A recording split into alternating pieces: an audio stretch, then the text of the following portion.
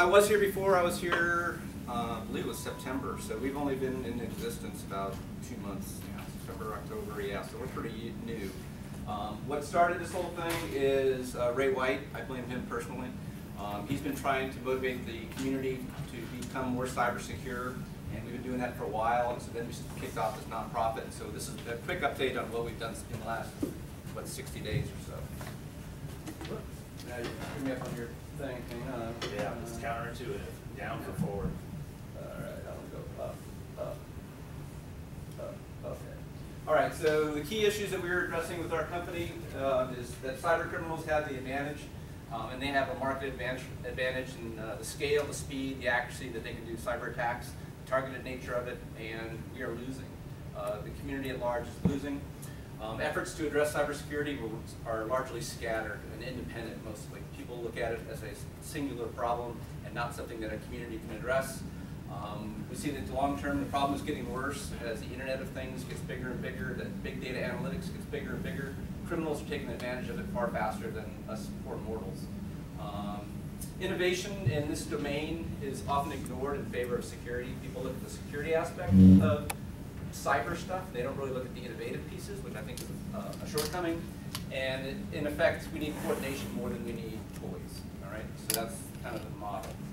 So he said up is down, down is up, is that what you said? Yeah. I got it wrong already. So what we're looking at, we look at the liability, asset, income, and expense uh, chart, if you will. Most people look at it as cyber insecurity. What we want to look at is the innovative piece, and that's what we're really trying to focus on. So promoting cybersecurity while building cyber opportunity for all Virginia. Pretty, uh, pretty ambitious endeavor, um, but it's all through coordination, collaboration, and advocacy. Um, we established this as a nonprofit. Some of you might ask why a nonprofit, and here are the reasons. Um, we can span the government, federal, local, state, K through 12, everybody that we want to touch. We can leverage other nonprofits such as MITRE and Alliance, some of the big players in cybersecurity, we work with them. We can be transparent and accountable, um, innovation, all those things. Uh, the team is pretty impressive. Again, this is in the last 60 days we set this all up. Uh, Gary Lasoda is the founder of uh, Valkyrie Enterprises, a local company, rather big. Mark Klett, uh, Admiral Gemmel, and uh, Major General Bob Newman is in uh, Richmond, and he's helping us out. All really powerful people in the cyberspace. Um, Williams and Mullins is supporting us with the secretary. And uh, basically, we have over 100 years of combined experience with both leadership and a little bit of uh, cyber savvy. Uh, Again, here are some of the sponsors, Valkyrie, Cled, QED Consulting, Virginia Beach, Splunk, if you've ever heard of Splunk. Uh, Amazon Web Services is behind us. Um, We have a new website developing uh, for us right now, ID Web Studios, I give a shout out. Um, They're going to be helping us out building our web portal. Um, The FBI is uh, helping us as well. Um, Sarah Bryn, I could go on and on. We've got a lot of people that are really kind of rallying around this whole idea. Whoops. Do those too quick. Um, From the delegates, uh, every delegate that we've approached so far has said yes, that they want to support it and they want to help us uh, work with them.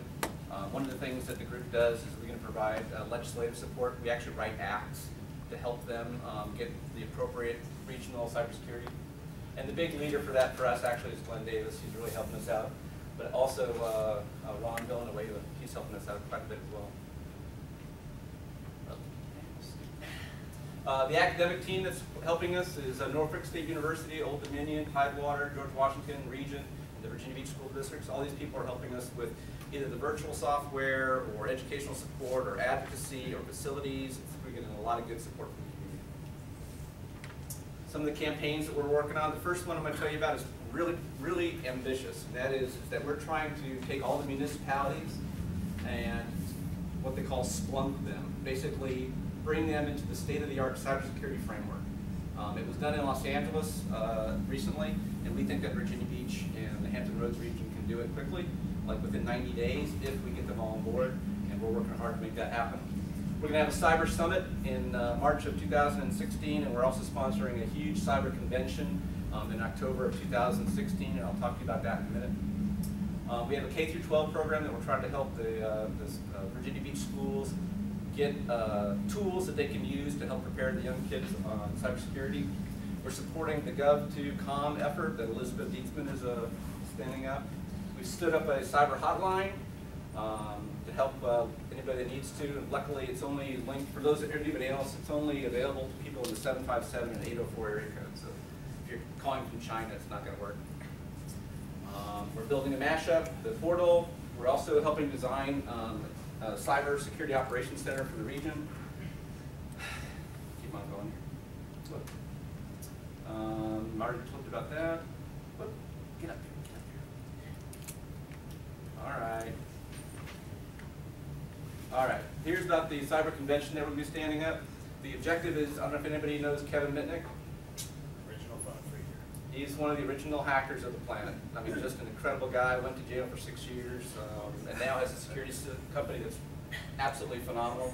Uh, Marc Goodman is the author of Future Crime, the CEO of Splunk. These are the kind of people we want to bring to the event next October, and we think that's going to be a big draw for the region and um, getting support. I'm always giving people advice on good books to read. Here's two. Uh, Future Crimes by Marc Goodman, one of the guys on that list, and the other one is Kevin Mitnick's book, Ghost in the Wires. So, uh, goals and objectives, um, I've kind of gone through them. One of the ones I want to point out is we're trying to get a whole bunch of the Raspberry Pis, which is a small handheld computer for the local school district. We need about twenty-five K to get four hundred of them to help the, the kids in the region. All right, and this last one is for the, uh, the Million Cups group. Um, my advice to you is just take the plunge, you know, just do it. And this is a, one of the girls on my ship jumping in the Atlantic Ocean. Top. Fire.